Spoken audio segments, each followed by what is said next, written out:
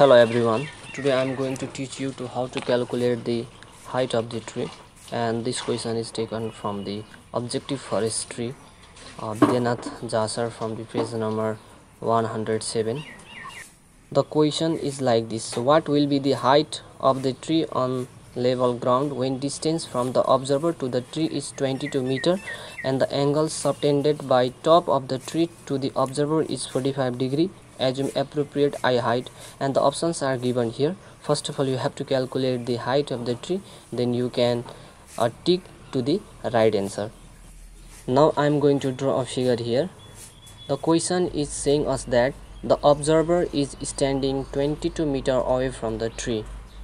So the distance between the observer and the tree is 22 meter and when he is observing to the top of the tree through the instrument height measuring instrument. He found the angle is 45 degree. And the question is saying us that we have to assume appropriate eye height. So the eye height of a person will be BC or ED because ED is equals to BC similarly we also know that the EB will be equal to DC so the angle he made looking to the top to the tree is 45 degree.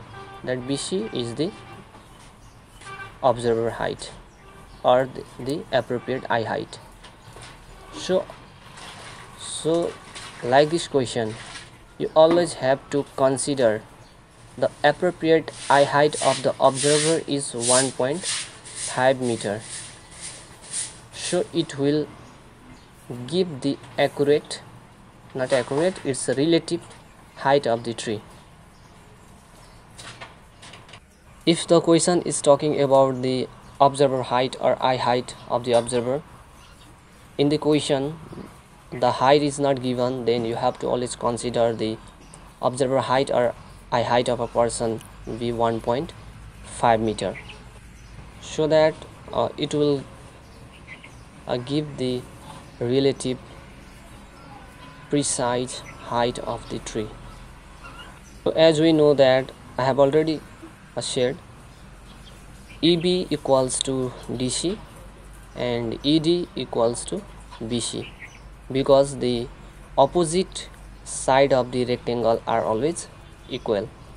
Now look at the triangle AEB and you can use here the formula trigonometrical principle formula tan theta equals to p by b.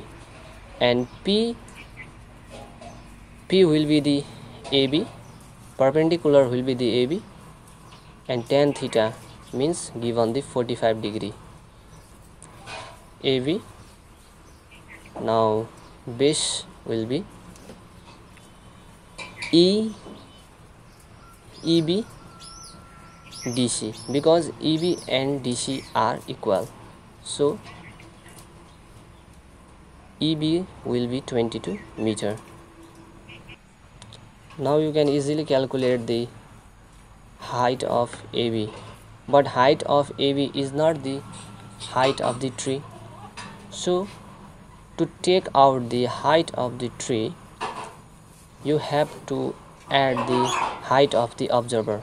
We have already assumed the height of the observer is 125 so we have to add them to calculate the total height of the tree. So the right answer is 23.5 meter and you can tick in B 23.5 meter.